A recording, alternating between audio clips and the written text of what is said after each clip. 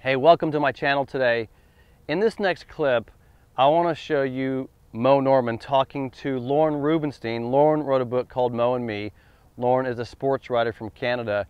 He was on the range with Moe in 2001, and they were talking about how Moe produced the kind of speed he produced with so little effort.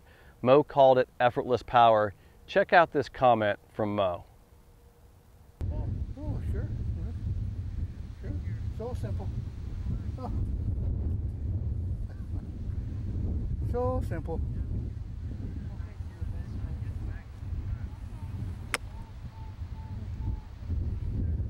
Always at my target.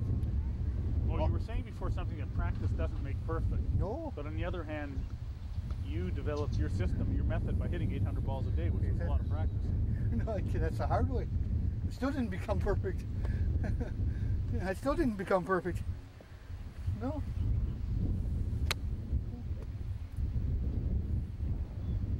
What's the good of practice then? What should people be doing?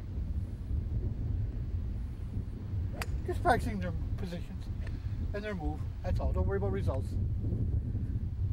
But Just pra- making sure you get the move you want to get that suits your makeup.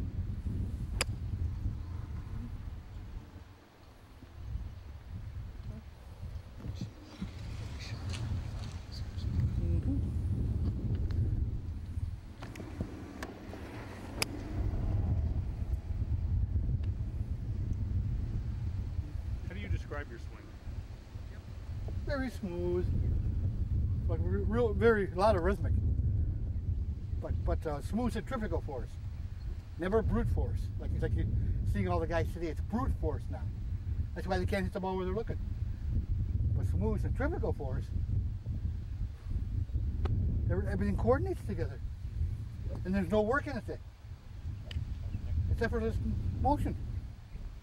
It's effortless, effortless power. Effortless power. Oh, that's all. Effortless, effortless power.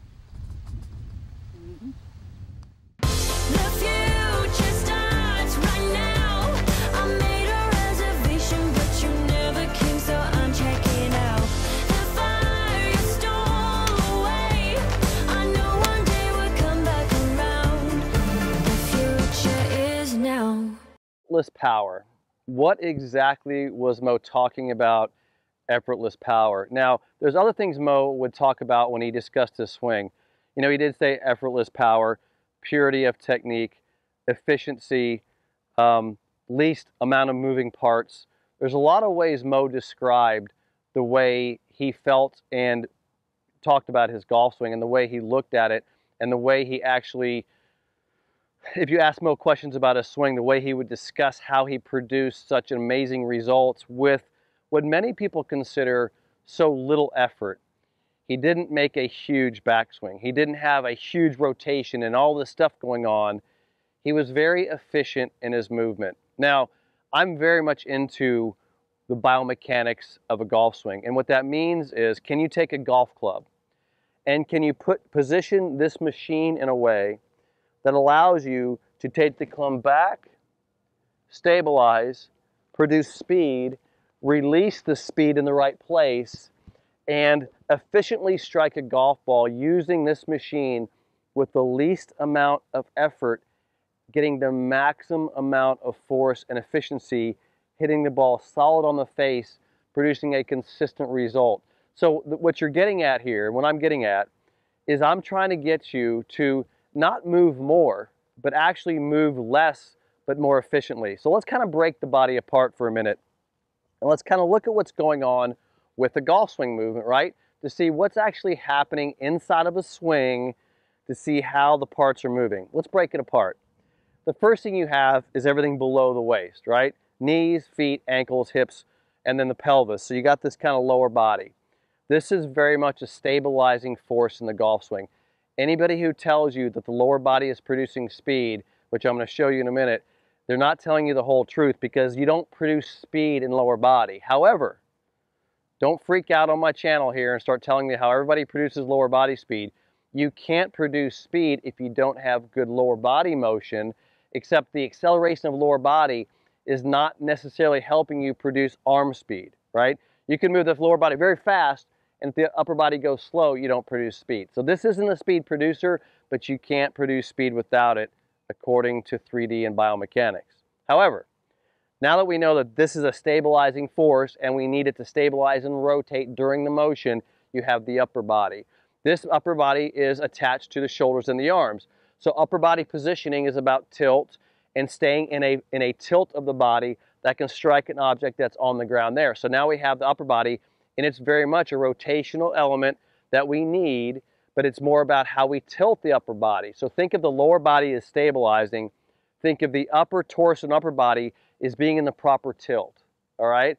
So now we have two very different segments of the body that have different functions in this idea of efficiency. Now, now we come to the, ar- the shoulders, arms, and hands. And I'm going to kind of ignore the hands for a minute because these things are, like I said, they're clamps on the golf club, but you have your arms and your shoulders.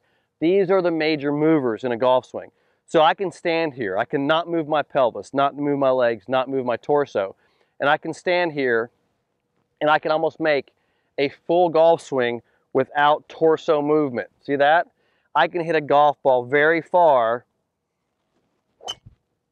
That ball went about 180.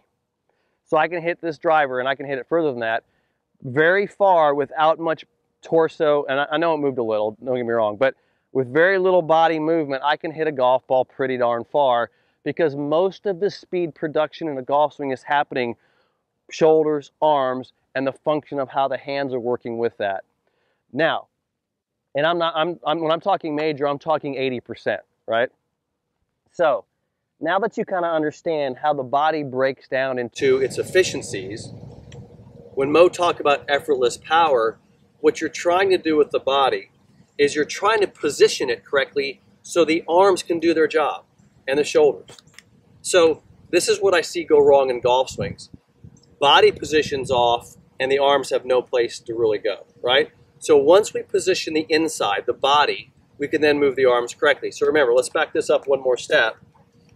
Lower body, put it in a position to stabilize. Trail foot, lead foot, build my A-frame of my legs. Stability, right? Upper body, put it in the proper tilts. Got it? Got my clamps on the golf club. All I got to do now is move to a position where the arms can leverage, stabilize, rotate the body, and move the arms and hands as fast as I can while my body stays tilted. See what's happening here is my body position is allowing the arms to move quickly. I'm getting efficiency because my arms and hands and shoulders can move. It's very much arms and shoulders producing this massive amount of speed, which is why Moe felt he could be so efficient because his body position was so stable. So watch this. As I set up, there's my single plane, leverage the club, stabilize, and watch the swing now. Very efficient. And what's happening is you sequence that now, boom, stabilize. Watch this. Body moves. Right here, I have all the energy in my arms. Fire that energy through the ball. So I feel like there's an accumulation of energy. I'm not hitting with my arms. I'm positioning my body, then hitting with my arms. And there's a huge difference in that. They call that lag, if you want to know the term for it. What's happening there is I'm taking it back, I'm stabilizing, I'm positioning the body, and then I release that, his arms to the ball. That's why Moe felt he was so efficient because the body moved as little as possible. The, the stabilization was easy because he stabilized lower body into a flex lead knee. His foot stayed on the ground, so that was easy, right? So I'm in the proper position. I get to the top. I stabilize. I accumulate my power. Now release the shoulders, hands, and arms to the ball. And he could do that consistently. Why? Because the body position was so good. And that's what I kind of teach is how do, how do you get the body in a stable position? How do you get the upper body in the proper tilt? And how do you use the ar- arms and shoulders and hands correctly to strike a golf ball? And that's why Moe discussed how efficient he was. That's why he called it purity of technique. And that's why he could use the least amount of movement and hit the greatest golf shots and be the best ball striker that ever played the game.